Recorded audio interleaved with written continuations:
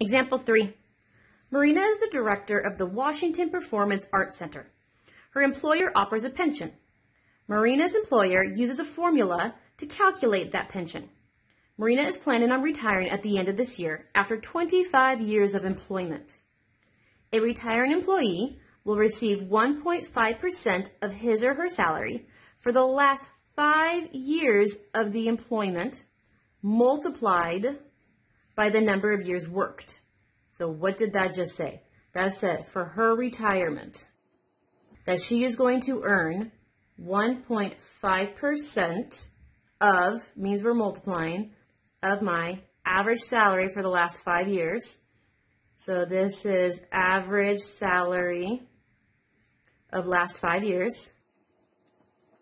And it says that's multiplied by the number of years worked. So her retirement, we have 1.5%, which needs to change into a decimal. So 1.5% is 0.015 because you take the decimal and you move two places to the left. So it was here. It is now here. We need the average of her salary for the last five years. They don't tell us her average, but they tell us what her last five years were. Remember, average is add them all up and divide by the five that you added. So we're going to add them all up. So there's my last five years.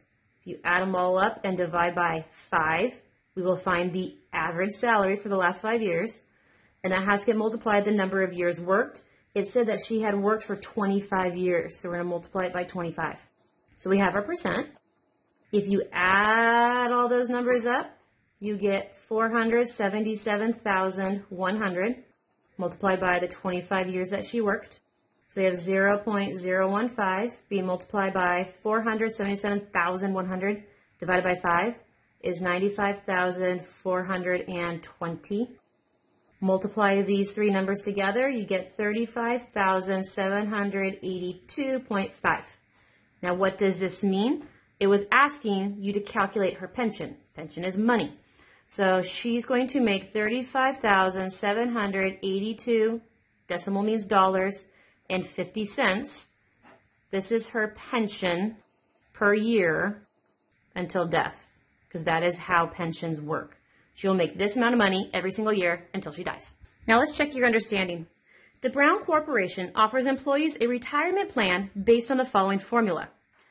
The retiree will get 2% of the average of the final three years salary. So here is his retirement plan. It is based on, it said the 2%, so we get 2% of, means we're multiplying, says the average three years. So this is average salary for the last three years. And it says it's going to be multiplied by, because it says times the number of years in the company. So time number of years worked. So 2% is 0.02 as a decimal. We have to multiply that by the average salary for the last five, last three years. It tells us his average salary is A, B, and C. So year one, year two, year three, divided by three, we have the average for the last three. And now we need the number of years worked. Said the employee worked at the Brown for D years. So here's our D for how many years he worked. It wants us to write the algebraic expression for his yearly pension. So we have a fraction be multiplied to 0.02 multiplied to d. So we have 0.02d be multiplied to this fraction. And this is his annual pension.